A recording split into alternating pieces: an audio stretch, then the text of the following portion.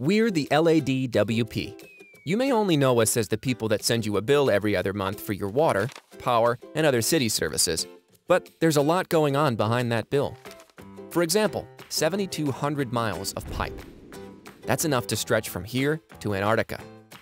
And that's just a small part of our water infrastructure that reliably brings water to your tap. Over the last 10 years, we've been replacing old pipes and reducing pipe breaks by 40%. But more infrastructure is reaching the end of its life, and we need to ramp up the rate at which we're replacing it. We're also undergoing a historic transformation to secure LA's water future and protect us from drought.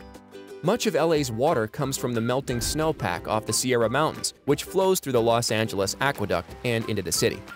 When there is a drought and the snowpack is light, Los Angeles needs to purchase more water from the California Aqueduct and the Colorado River Aqueduct. Water from a regional agency that is pumped over 300 miles over mountains to get here. And that water is not cheap.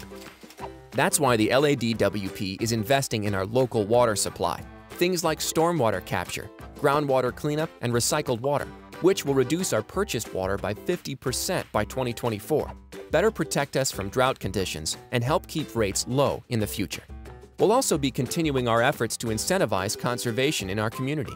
With our Cash in Your Lawn program, rebates for water-efficient products, and free water-saving devices, allowing us to work together to make sure that everyone in Los Angeles has clean, reliable water when they need it.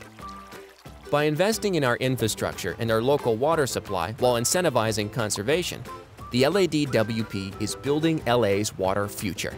To learn more, visit myladwp.com.